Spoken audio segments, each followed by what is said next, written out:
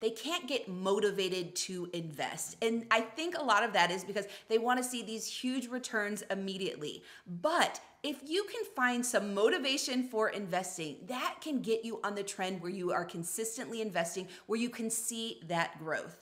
And motivation is so important as far as getting started, but it's also really important to keep you invested in the stock market.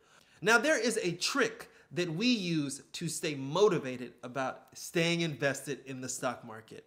And what we usually do is every so often we take the profits from our investments and we live them up. we enjoy those profits. We will take a vacation with those profits. We have even bought a new car, made down payments on houses, all because of profits. What they usually do is they run investments in the stock market.